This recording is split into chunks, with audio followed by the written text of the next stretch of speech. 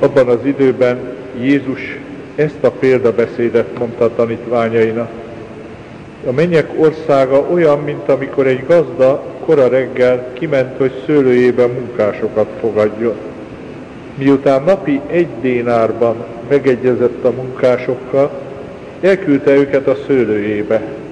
A harmadik óra körül megint kiment, és látta, hogy mások is ácsorognak ott tétlenül a piac téren. Ezt mondta nekik, menjetek ti is a szőlőmbe, és ami jár, megadom majd nektek. Azok el is mentek. Majd a hatodik és a kilencedik órában újra kiment, és ugyanígy cselekedett. Kiment végül a tizenegyedik óra körül is, és újabb ácsorgókat talált. Megkérdezte tőlük, miért áldogáltok itt egész nap tétlenül. Azok ezt válaszolták, mert senki sem fogadott fel minket.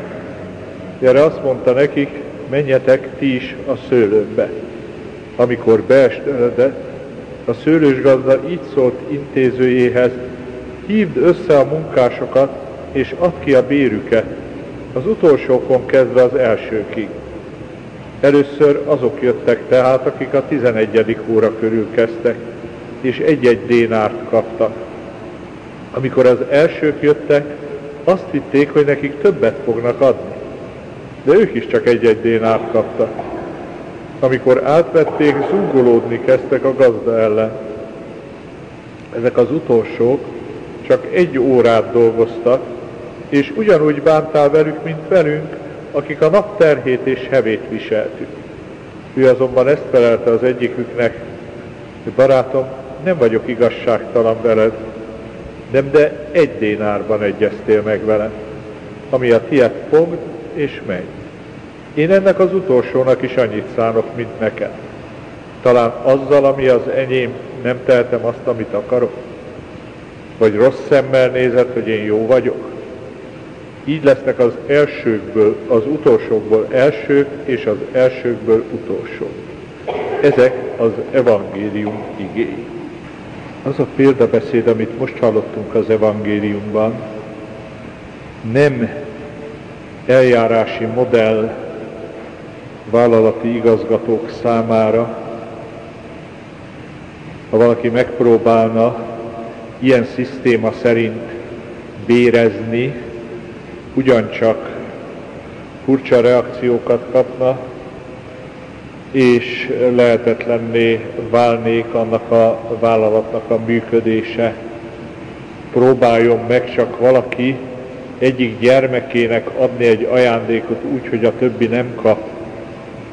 Micsoda méltatlankodás törik ki, tör ki akkor, hogyha valaki úgy látja, hogy a másik szebbet kapott, a testvére jobbat kapott, mint ő, micsoda viták, irigykedések, méltatlankodások.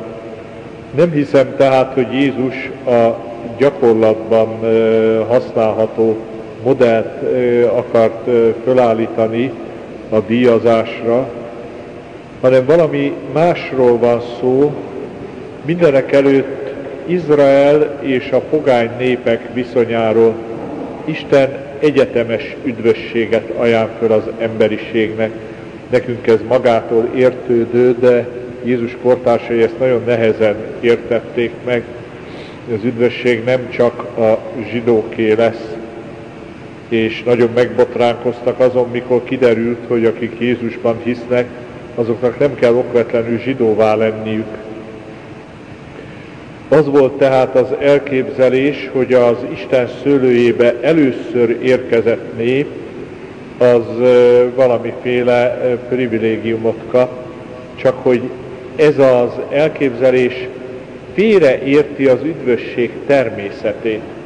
Mert amint Izrael kiválasztása ajándék, ugyanúgy a pogány népek beoltása Izrael nemes szőlőtövébe szintén ajándék. És ahol a szabad ajándékozás törvénye uralkodik, ott nem lehet méltányosságról vitatkozni. Egyszerűen csak a jóság túláradása van, és mindenki túláradóan sokat kap ebben a nagy ajándékozásban. kicsit tovább is mehetünk, és beszélhetünk az egyéni sorsról is. Az üdvösség nem egyforma.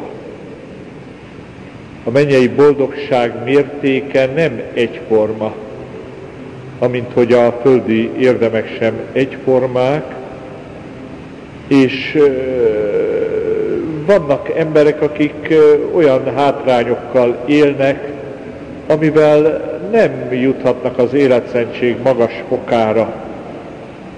Idegileg gyönge emberek, szellemileg csekély teljesítő képességű emberek. A kultúrában károsan befolyásolt emberek, valaki beleszületik például egy primitív benszülött törzsbe, és abban éli le az életét. Fel is jut hozzájuk a kereszténység, csak kivételes, kiválasztott lelkek fogják azt úgy fogadni, hogy valódi életszentségre jussanak. A többiek valamiféle középszerűségben élik le az életüket, jó-rosszul megértve az evangéliumot, és ebből a jó-rossz megértésből, ha fakadhat is üdvösség, de nem fognak azon a szinten állni, ahol Isten nagy szentjei állnak. Mindenki meg van hívva az életszentségre, de nem ugyanarra a fokára az életszentségnek.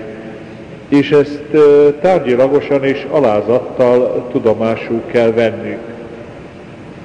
A mennyben azonban nem lesz irigység. Itt a földön se szép dolog az, miért kapott a másik mást, vagy szebbet, vagy jobbat, mint én kaptam, miért szebb a külső megjelenése fiataloknak, ez gyakran okoz gondot, miért jobb a kommunikációja, és könnyebben tud kapcsolatot létesíteni, és azért hát a házas állapot is könnyebben jön létre, mert, mert vannak barátai, barátnői, nekem meg nincsenek, én egy nehéz természet vagyok, nem tehetek róla, nehezen kommunikálok, nehezen létesítek kapcsolatot. Miért vagyok én kizárva abból a közegből, amiben mások könnyedén ö, ö, mozognak? Miért van a másiknak több pénze?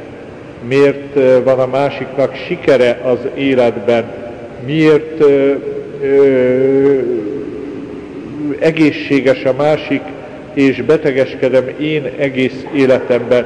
De ezek nagyon gyakran fölmerülő kérdések, és nagyon sokszor vezetnek zúgolódáshoz Isten akarata ellen. Valójában az ember sokkal többet tehetne magáért, hogyha Isten akaratának feltétel nélkül megadta volna magát, és bizalmas közösségben élne vele, akkor a kérései sokkal jobban meghallgatást nyernének. De akkor már nem is kérné okvetlenül azokat a földi javakat, amelyek neki nem jutottak, hanem máshogy gondolkozna, és az üdvösség javait kérné, amiket Isten biztosan megad. Nem biztos, hogy ugyanabban a fogban. És ide térjünk vissza, Isten szuverén, mi teremtményei vagyunk. A római levélben írja Pál, Jeremiás próféta egy helyére célozva, azt idézve, hogy a fazekast nem fogadhat, nem vonhatja felelősségre a cserépedény. A fazekas minden edényt olyannak alkot, amilyennek akar és nem zúgolódhat az edény, hogy miért éppen ilyennek alkottál engem. Ez az alapvető beállítottságunk Istennel szemben, hogy ő az Isten magáéból osztogat és ingyen osztogat, hogy én úgy, ahogy vagyok, Isten remek műve vagyok ugyan, de nem okvetlenül ugyanolyan remek műve, mint a másik, lehet, hogy kevésbé tökéletes remek műve, mert fokozatok vannak a teremtésben, és nem vagyunk egyformák, de, de önmagamnak elég vagyok, és ha egyszer a mennyei dicsőségben beteljesült az Isten utáni vágyam, akkor nem fog hiányozni semmi, és örülni fogok a mások nagyobb boldogságának, anélkül, hogy az enyémből valami hiányozna. Ugye ismeretes az a példa, hogy megtöltenek egy gyűszűt vízzel, és megtöltenek egy poharat vízzel, melyik van jobban tele. Mind a kettő egészen tele van. Amit be tud fogadni, megkapta. Ha többet töltenének rá, az kifolyna, azt nem tudná magában tartani. Ugyanúgy a kapacitásunk, befogadó képességünk szerint tele leszünk a mennyben. Tökéletesen boldogok leszünk. Nem fog hiányozni a boldogságunkból semmi. Lesznek mások, akik boldogabbak nálunk, lesznek mások, akik sokkal, de sokkal magasabb szintjén állnak a mennyei boldogságnak. Avilai Szent Teréz azt mondta, hogy érdemes nagyon sok áldozatot hozni azért, hogy csak egy kicsit is feljebb jussunk a mennyei boldogságba, mert nagyon nagy az, és nagyon nagyok benne a különbségek. Ugyanakkor azonban a legkisebb gyűszű is tele lesz a mennyben. Egyikből sem fog egy, egy, egy csepp ezred része sem hiányozni.